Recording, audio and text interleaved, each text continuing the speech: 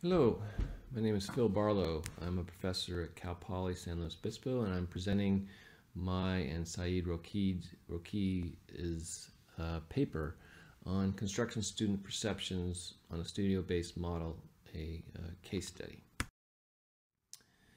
studio-based uh, model uh, kind of has a three-pronged approach uh, to make it integrated, uh, integrated correctly through the studio-based model environment which includes interprofessional education and project-based learning. Uh, this is what we're trying to achieve uh, in the Cal, the Cal Poly program, is utilizing all three of these elements to uh, give the students uh, uh, a successful learning environment. We understand there's many challenges for universities in achieving and maintaining this type of educational approach. Uh, number one is the physical space. Um, uh, that's the area we're going to kind of focus on a little bit in this paper. Uh, the traditional teaching styles we also look at, along with the resources needed uh, to su successfully pull off um, a studio-based model mode with a three-prong approach. And in addition to that, we also recognize that interdepartment coordination is necessary to get an interdisciplinary experience is also highly desired in this type of uh, pedagogical approach. Uh, Studio-based learning, uh, kind of defined a little bit, requires a dedicated space, small number of students, uh, specialized uh, furniture as far as tables and work areas go. Uh, the time spent in the studio environment is important. Uh, we try to simulate the professional environment in an academic setting to the greatest degree possible. Um, and, uh, and those are some of the things that kind of define what we consider to be a student-based learning module or model. Uh, the four aspects we focused on in this uh, research is the physical space, uh, the class structure, uh, the pedagog pedagogy as far as how the material is learned and taught, and then the theoretical framework of community and practice. Uh, we as instructors in these environments see ourselves more as uh, brokers or coaches or mentors, maybe is a better way to put it, rather than lecturers. Uh, so we keep a try to keep a balance between the academic culture and a professional practice environment. So what we did for this uh, this paper is we conducted a survey. This survey, a survey like this was done in fall of 2017 at the uh, at Mississippi State's construction management program of their senior students. And those results were presented in the 54th annual conference. At this 56th annual conference, we mimic this uh, survey at our uh, construction management program at Cal Poly. Uh, we had to tweak it a little bit for our specific needs, but uh, basically we're trying to present here the results of that survey um, and then maybe in a future uh, presentation, compare and contrast the two surveys to see what the differences are and the nuances involved in that.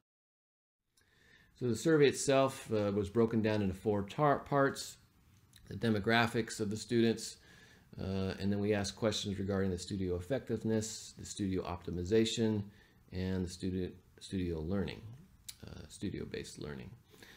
So we had 70 students uh, that the survey went to. We got 65 of them to respond. 23% female, 77% male. Uh, they all had uh, uh, or averaged about 10 months of work experience. So these are super se seniors with probably three internships or more under their belt. So they're well experienced and they all had taken um, all or we're taking or nearly have taken all of the seven lab courses that we provide as part of our curriculum at Cal Poly. Um, those lab courses are what we call our core courses or our studio-based uh, learning courses uh, that are taken as part of the Cal Poly uh, CM curriculum. So quickly to the results. Uh, effectiveness, uh, we've asked the students to rank the effectiveness of the various studio potential studio outcomes that uh, we have seen from previous research come from uh, studio-based learning. And you'll see the interesting part of this graph is the top four are all very much uh, group type of, of, of favoritism of this type of studio-based learning. The group work, the teamwork, the group discussions, the learning from peers, the professional socialization. These are things that uh, we're able to achieve in these studio-based learning environments uh, that simply can't be or typically aren't achieved through uh, normal lectures. Uh, other results include the level of engagement, very engaged uh, and more engaged uh, than obviously a, a lecture course. Uh, as you might imagine, uh, that graph is pretty straight ahead with what you would expect to see. Um, student feeling their level of engagement in a studio-based environment versus their standard lecture environments. Um, they felt that uh, this, applying the studio-based curriculum uh, to the, a construction management program, at least at Cal Poly, was absolutely the uh, the way to go, um, and are very uh, much bought into the idea of utilizing a studio-based uh, learning environment uh, for a construction management program like Cal Poly's. Um, you'll see here the preferred course structure. We talked a little bit about, well, what's the best way to learn within the studio environment, large projects versus shorter projects. You can see the vast majority preferred a short project type of, of endeavor. We find, at least at Cal Poly, if we put all those short projects together and create the larger project from the shorter projects, that's a great way of combining uh, the project-based learning environment uh, for today's student. Uh, we also tried to assess and confirm the amount of time spent in the studios was optimal for learning and the students' uh, uh, retention. Uh, one of the things was looked at was, you know, how did we spend our time in those studios? You can see here we spent most of our time through uh, discussions, interactions, one-on-one -on -one with students, mentoring and coaching. Um, this is a pretty even distribution of those things. Uh, there is some lecturing involved in that, so that's kind of class presentations, general discussions topic, uh, which is more of a traditional lecture class, but the rest of this is all studio-based type of uh, learning. The optimum hours per day is shown here, um, and hours per week, uh, three hours per day, uh, 12 hours per week. That would be three hours a day, four days a week. Uh, that's what we currently do at Cal Poly. Uh, so this matches up nicely with our current practice. We did before uh, use uh, uh have more hours in the in these uh, lab courses or these studio-based courses, but we've pared that down, and I think it is matched well with the students' needs and expectations. and then obviously the quality level is high um, for studio-based learning environments. overall quality is seen as perceived as very high. So uh, I'm running out of time, but so I'll wrap this up quickly. Uh, group engagement is obviously a highlight, um, easier to attain through the, uh, the studio-based learning.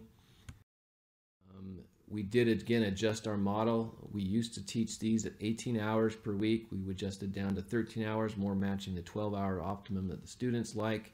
We also had four plus hours per day. We're now to three hours per day. This again makes these adjustments uh, that are seem to be aligned with what the students want to see and have. Uh, the assignments were have been adjusted from just get, throwing them one large project and then you know letting them tackle it as a big project. Now we're breaking them down into smaller projects, like for instance estimating, scheduling, and then combining all those things into the larger project. So again, um, it, you know, all the decisions we're making regarding studio-based learning has been kind of purposeful and uh, and informed decisions. It does take some private money to get the physical spaces in place. It takes uh, the dedication of instructional hours, and it also takes the students and the professors the ability to teach in a variety of teaching techniques uh, that are required in this studio-based environment. But the overall success is there. Uh, we use these, we use, we're using this, uh, I think this type of information can be used for programs that don't currently have a uh, studio-based environment uh, to propose and to push administration uh, to help uh, integrate that into their curriculums and also to promote to donors. that they might support a, this type of learning environment with these type of positive conclusions. So thank you, appreciate your time, uh, and, uh, and uh, thank you for allowing me to present today Construction Students' Perceptions on a Studio-Based Model, a case study.